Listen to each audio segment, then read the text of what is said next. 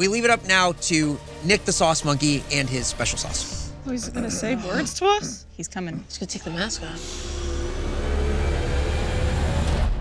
Oh my god! Special sauce. Thank you. What? Ah!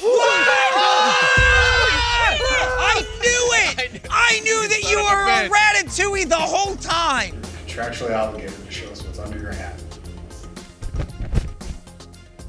What's under that hat?